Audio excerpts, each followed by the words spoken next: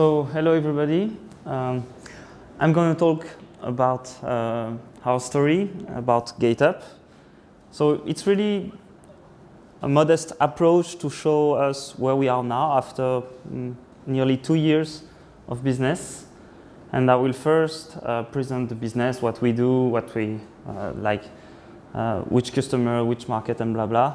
And then I will really talk about more personal aspects and the way I personally see the venture growing uh, process. So moving, walking is essential for humans. We all, we all came here walking somehow, and we all have different way of moving. It's personal signature. You, it can be funny. You might know the sketch of the silly walks uh, from the Monty Pythons.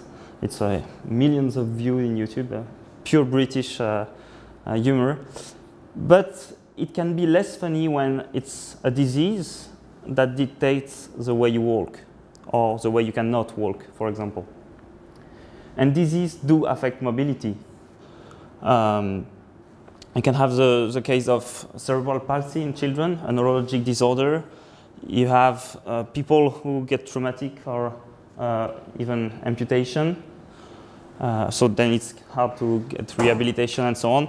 And you have elderly people. Of course, being old is not a disease by itself, but people uh, who are old do fall. It's uh, after uh, 65 years, which is not that old now, uh, in the society is one out of three people each year. And falls destroy lives, but also cost nations billions in terms of health costs. And, and what do we do for our elderly persons to avoid them to fall? Once they fall, it's too late. But on the other side, science tells us some evidence like on uh, epidemiolo epidemiologic studies on more than 40,000 people. If you measure simply the gait speed, the speed at uh, which people spontaneously walk, and if you have their age, you can know uh, statistically if they have a low risk, a medium risk, or a high risk of falling.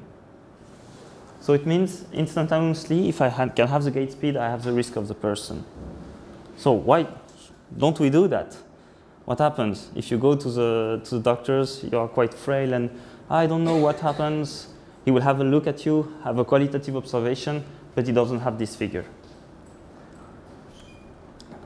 So it's where we come from with GaitUP, is we can perform in the field with a small sensor, which is 19 grams, a simple evaluation of the main uh, uh, gait parameters, and you have directly the risk associated to a person. And it's, uh, it's not takes five minutes, it, it's instantaneously during a normal gait in a natural env environment. So how does the solution work? So you place the sensor on the foot. Those are the wearable sensors. It's a concentrate of uh, uh, 10 different sensors, accelerometers, gyroscopes, and so on. And then you get, the doctors get uh, analysis report that for him is useful because he has the figures, but also he can show to the patient uh, if there is progress and so on due thanks to a treatment. This is the way we sell the product now. So it's a package where you have the software and the USB key and the two um, sensors. I give the example of one customer, uh, for example, which is, uh, we have not all the slides, huh? I'm widescreen. Not a big deal. but uh, it's uh, Professor Bula, the head of the geriatric hospital in Lausanne. And for him, it's important to use that in routine so that they use the system of more than, more than 2,000 people today. Um, and for him, it's, it's good because he can predict the, the risk associated to a person without spending time. Is a physio who is doing the measure. He gets the report. He says, "Okay, we should do someone something for this one." So the, he didn't spend time, and time in clinics it's uh, really a big deal. And he can valorize in intervention. So clinics are also fighting between each other to get to provide the best service. And if you are able to say we have the best technology in the house to measure the symptoms, that's uh, an advantage. Then, of course, from what we are able to do, how on movement science, you can go to different applications, other segments, and uh, analyze running motion, which is pretty cool. And we have other applications. I won't spend more time on that, but we also have something on swimming uh, nowadays, and yeah, that's it. So for those who are sleeping until now, just remember that we provide an easy tool for objective and quantitative assessment of locomotion. And we like to say that we are born in research. Myself, I'm an engineer, I developed the technology. We are made in Switzerland. For Swiss people in Swiss market, it's something important. And for metrology in general, I mean, a Swiss watch is a Swiss watch, is something. So we measure something accurate because we are Swiss. That's important. And we are used in clinics. So now uh, let's talk more about the company and how we did it. We did that. So we founded the company one year and a half ago. We secured the IP. We can now have more than 4,000 people who are measured with the system. We did the new product development. We outsourced the production. First delivery in local markets uh, after, you see, six months only, and in US uh, in this summer. So we are quite proud that after nearly two years, we are now more than four uh, people working full time in the company, and we have uh, nearly 300,000 um, sales revenue, which is nice. In, Ro in RON, in lei, it's 1 million. Sounds good. okay, so now let me talk about the ongoing story behind and how we did uh, that.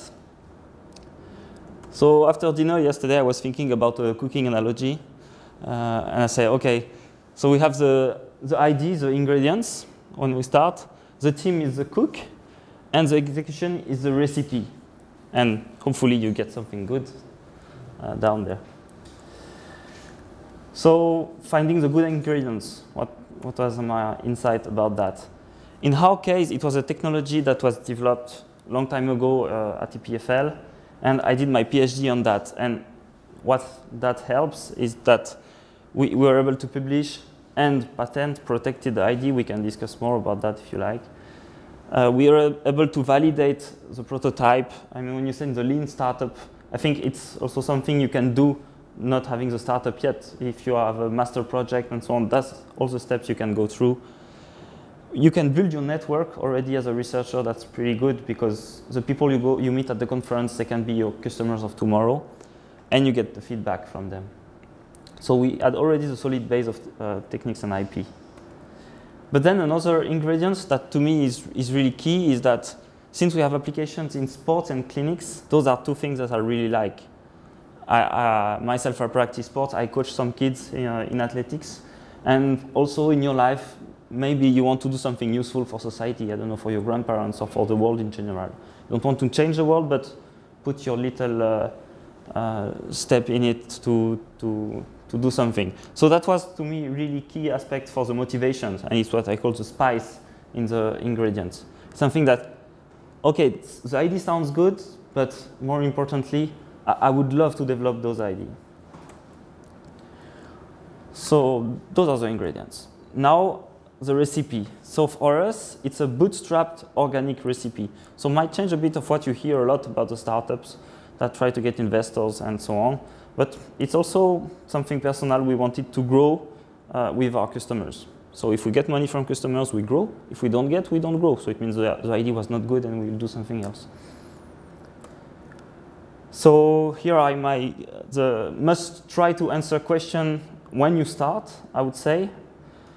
So a checklist kind of. So who need it? And that's really important. Is it B2B or B2C? We, we hear a lot of things that apply to, uh, a lot for B2C, like you need to seduce everybody, your mom need to buy it and so on. But in, in my case, my mom will never buy the sensor, she doesn't care, and of course, because she's not a doctor. But uh, there is a lot of business out there happening B2B, between companies. A lot of companies don't have the know-how or technology to do a certain thing, and you can sell that to them. And uh, that's really important, and it changes the way you do business and the price also you can have. So how much will they pay for it? And will it be recurrently? That's also important. And how much they pay, that's it's something quite hard to, to ask until you don't have a uh, price and so on. So Is it few francs, few hundred francs, few thousands, few hundreds of thousands? That's uh, it's it's not an easy thing, and you can you validate that uh, aspect only once you have the cash in your uh, account. I mean, how many will pay for that? So of course you have to multiply by that, and you can see which margin. It's really simple calculus, but it's really the basic. If at the end you have uh, something minus, uh, maybe do something else. Huh? Who else is having the same ID? and how do they perform? It's, it's really arrogant to think that your ID, you are unique and blah, blah. Probably many people had it at the same time. You know, it's a case of in physics, infinitesimal calculus. Uh, Leibniz and uh, Newton, they invented it at the same time. I mean, and it's because mostly, most of the ideas that come from technical innovation, they appear kind of the same time when it's mature in the world and blah, blah. So who is having it? And or if nobody seems to have it in the market, why? Maybe there are good reasons why. Because it's hard to produce, because nobody wants it, or because there is a, a great liability issue and so on. So that you can learn a lot. And also, if you find another competitor that do well, then it's not a sign, ah, oh, he's already done it. It's most a good sign, say, they are doing a good business out of it. So that's a good idea. If I think I can do it a bit better, that's a good thing. And finally, how far is my technology to market? And this is also hard from science because once you have a paper, you think it's, it's working, but to put it to the customer, that's another story. So in our case, for example, we had so we, we, we said, okay, which are the two values that uh, customer like? It was assessment accuracy and the ease of use, practicity of use. And on the, both hands, we had the motion laboratory, which is the gold standard that you can have. And on the other side, you have wearable gadgets, maybe Northern Eye Plus, IPFL, and so on. But of course, you don't want to go to the doctor and that he diagnose you Parkinson's disease with an Eye Plus. You would feel quite uh, uh, bad. So we, we position in the middle of that. So this is, uh, yeah. For competition analysis, of course, you can study and compare product feature, what is nice to have, must have. I think uh, most of this is classic to do that. But I will have, I will add two points that I think important is try to get confidential information about your competitors like what is the number of employees or turnover. And that's quite tough to get because most of the people try to hide it, usually because you, you, you realize that the competitor is actually a company with one guy in it, not working fully time, but having a professorship next to it and so on. So it's, it's important to try to get this information to see if you, the players with you uh, are strong or not. And also, the last point is act as a customer. So not try to buy, of course, but try to, to, to act as a customer with your competitors to see how they do, how do they behave. Are they good with their customers? So, so did they support you and so on? So yeah, you can create an alias in Gmail and uh, your name is Katerina and uh, you, you, you ask them for a product and you see how they react and you see how they behave. And that really tells you a lot around the uh, prototype to market uh, step. So for us and our recipe, we said it should be as soon as we can, legally, of course. And except if you're a Steve Jobs fanatic, you don't polish every aspect. It's really nice to open the iPhone and every chip is encapsulated and so on. But reasonably, you cannot do that when you're a startup, when you start. Beware of contractors and student job. Uh, I mean, the things that are essential and you really need it, you don't uh, ask someone to do it. Even if it's cheap and so on, at the end you will have a shitty stuff that you will, you will need to do again, and that's not a solution. Gives you baby to the user so that they crush it. Of course, they will. We have one customer that crushes the sensor every week, which is really annoying, but uh, it's the case. And think about the, the distribution. Usually we can figure out pretty fast, but what happened after? Will they call you like, oh, it's not working, they're not happy, and so on. And if they call yourself and you say, but I'm busy actually, I'm in Romania, and blah, blah, it's not a good solution. You have, so you have to figure out uh, this before. And uh, I spend a little bit uh, of times also on the cooking team now. Because to me, building the cooking team is one of the most challenging and uh, critical uh, step. And in the success story you hear, usually it starts with a team that works well together and has a good competency. In my case, I was almost alone at the beginning. I had my professor, of course, who was behind, yeah, it's great, we should. And my former supervisor, we came from the same lab, so we were talking the same language, and we all agree it was great. But that, that doesn't make, uh, make it to the market. Huh? So I was uh, alone to put my energy in it. So I start looking around. So this is 2012 now. And we found uh, other people. So one people from the medical world to, to place in the board because I say, okay, this is a potential customer. This is an ambassador. If I cannot convince him, I cannot convince other people. And, who and he joined us. And I found someone also from finance because, okay, I, I'm, I like manipulating numbers when it's one or zero or X, but not when it's millions and so on. So this was the founders uh, in 2013. And then you have to actually do the things. And most of the founders are usually good for advertising, uh, not advi advices and strategy, but they will not do the job hands-on. So then you, you need the, the team. And I find someone for sales quite early on to go to the customer and get the feedback and do the support as well, to answer to the phone. So basically, she's really doing a great job uh, of that and uh, someone to help me on the engineering part also. And then now in 2014, we have grown the team and uh, well, with uh, one people in software since it's a key aspect and two other uh, engineer. So you see, like, yeah, it grows um, organically, but uh, quite fast. Some cookie styles uh, advices um, so this is really practical things, but I found quite useful. More than having a strategy is good, but there are few practical stuff you need to figure out quite fast. What is the legal structure and the equity? You have to decide this the first day, and it's almost the most important thing for the last days.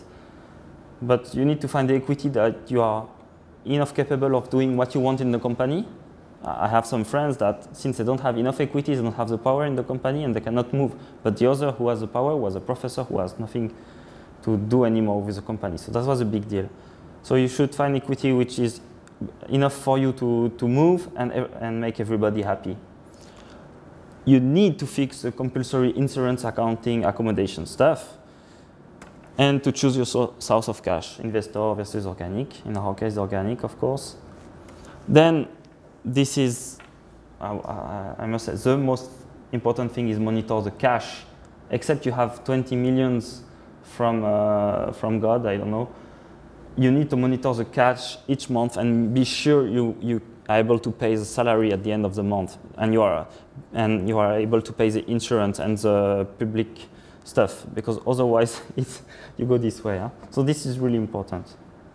Do your homework, business plan, subside, market evalu evaluation, things you hear in every startup course. And this, you have to do it. At, uh, it's important, but it's not what will make the most difference compared to the other stuff.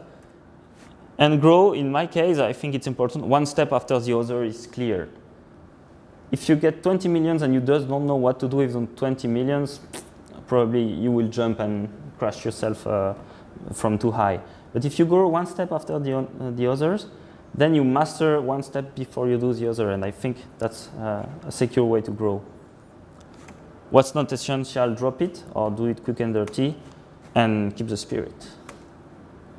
What we learned the hard way, what was our mistake, I would say after two years, it was the improvised cash management at the beginning. That was quite hot. And underestimated software development. Usually people say software go fast, poo, poo, I have demonstrator. But actually I found software much more uh, challenging than hardware. Hardware, you push a button, it works, it blinks, blah, blah, that's it. Software, you cannot imagine what the people will do with the software, many aspects. And now the piece of code, my algorithm, I was, yeah, it's 1,000 lines of code, really strong algorithm, it's that. And the rest of the software is that for the interface and for the help, for the fact that they click here and here, and to be compatible with Windows, Mac, and blah blah. This is this is uh, yeah much more um, challenging than the core of the, the software. We have the lack of business experience in the board, so that was something I, I feel not so comfortable about, uh, but we try to build that up. And customers are not always sweet when they tell you about uh, the stuff. Even if they buy, uh, you say, yeah, you buy a 20,000 system, so probably he really likes it, but then they, they're quite harsh. So now we have a quite a small cake, but a nice cake here, and uh, not ready for degustation yet, but we are pretty happy with that. And you don't need to have AAA everywhere. My point is that we, we probably have a good technology, good ingredients since it, it was built, etc. We are not maybe the best uh, people to cook it since we are not uh, experienced uh, ventures uh, uh, people and so on. The recipe, the organic recipe, you can debate about that. It's not the fastest way to grow and so on. But still, I mean, after one year and a half, we are more advanced than many of other startups that did it another way. So that's it. I still have time or? Yeah, okay. So, and then it comes to the personal aspects because it's all about you, you, you, you, and me doing those stuff. And I, I frankly believe that we, we do we live to work or do we work to live? That's an important question. No, ask yourself what you are good at first. So in my case, I think uh, I'm, I'm, good at being enthusiastic uh, to, to, to, promote the technology with the customer and so on and pushing it through with the team and so on. Negotiating skills, I think I do okay. it's always, there are people you can't negotiate with. I mean, when you are too, uh, you're too weak, uh, you cannot. But and I like uh, things being uh, nice and so on. So I like the design, I like the nice interface and so on. Then there are things I'm bad at, or I might be not that bad, but I don't want to be. So I don't want to be the geek programming every day on uh, stuff. I don't want to deal about the legal issue and blah blah. And then I get really bored about the administrative stuff. So to figure out that, really be frank with yourself helps you to, to understand what you need to find uh, in your team. And when you need to, to, what you are good at, it's important. You can always try to strengthen your weak points. But after a certain age, you know, uh, you, you have better time to promote your good points. And it's important you do you soon enough you are a manager of people, but you first you need to manage yourself. And there is also this quality quantity uh, ratio, which is hard. I see many people who said, "Yeah, I work like hell, 24 hours a day, and so on." I, I truly believe that it's not a good way to produce good things and good ideas. So it's, it's good also to sometimes to go skiing on the lake, uh, thinking about something else, and it's probably where you go the, the best ideas. And keep the focus on your line and what you want to do, but stay open to critics, of course. And it's quite hard, huh? because if you learn to every advice people give you, then you are not focused anymore. So you need to find the balance. About achievement and failure, what is your personal achievement? Do I achieve well uh, if I uh, if I get as a product to the market? What what is your personal things that you achieve that you will assess yourself? And I like the tripod life balance stuff. Is uh, it was uh, once a, a, VC that told me about that. You have a tripod. You, you are the, the front wheel, and there are two back wheel. One is the family and friends, and one is the work. And you can, you know, you can do two wheels like this. It's quite a like only yourself and the work, but at a point you need to land on the free. And uh, it's important to keep uh, this balance uh, between those three aspects, I think. You can also do a real wheel without yourself. You only think about the work, your family, yeah, blah, blah, the work and not yourself, but it, it will not work at a, at a point. Uh, nervous breakdown for sure. So it's important. And why did I started the company? So if it's gonna inspire, I don't know, someone. I was bored of the big company. I worked a few years in, uh, in Renault, uh, 20,000 uh, engineers in the same place. I mean, nice project, huh? you develop a full car and so on. But this is, that was really boring. I also got bored from the academic job. And my dad was an entrepreneur, so I had this kind of spirit like, yeah, I want to do my thing. I, I feel good about that. Uh, that sounds really cool. Because I like managing a team of people, it's really a human adventure. Uh, all people have ups and downs, and it's not only ab about being harsh with people. You need to to find the the way people works and and so on to to make them the most productive uh, for the for the business.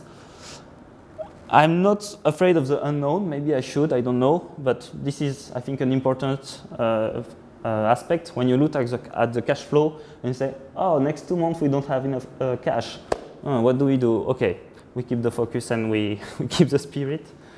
And I like to do things my way, and I think it's, it's important uh, also for uh, when you grow the business. And finally, my personal achievement, what I found is when I pay the salary at the end of the month and we create jobs and activity, that's really where I feel the best. I say, okay, we are doing the real stuff. No, it's we are doing stuff, we sell the stuff, we sell the stuff, and now I, I can pay salary with that. And th that was my personal achievement. What would have been bad reasons, I think, is to get rich, because I pay the employee more than I pay myself. So we might get rich one day, but I don't know and because you think your idea is great. That was the starting point. I said, my idea is great, I will do.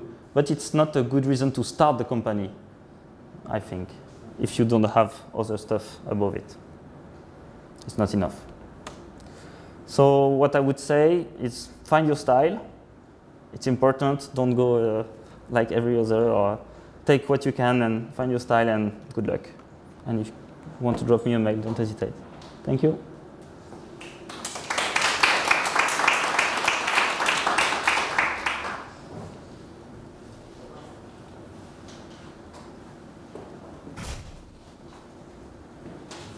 Yes?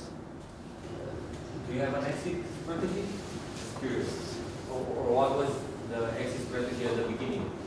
Maybe they seem to be uh, we, we see now like in the in our competitors of people who play in the same uh, area that it's being quite hot at the moment. There are a few companies that have been acquired by really big players.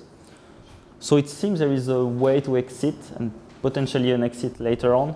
But at this time, we are developing the business, and I really don't care about exit so far.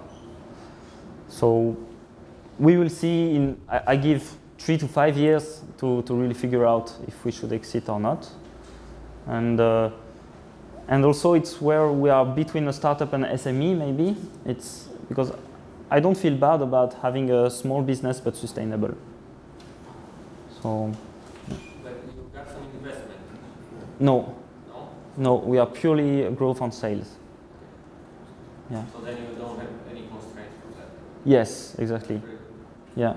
We are purely independent. So, so of course it's, I mean, yeah, you have to forget uh, about paying well people and so on at a point, and people need to to trust you to say, okay, I work with you. I know you cannot pay more and so on because we don't have external money. But so far we are, I mean, we grow and when someone will came in, we'll be stronger to discuss than if someone was here at the beginning, I think. We'll see.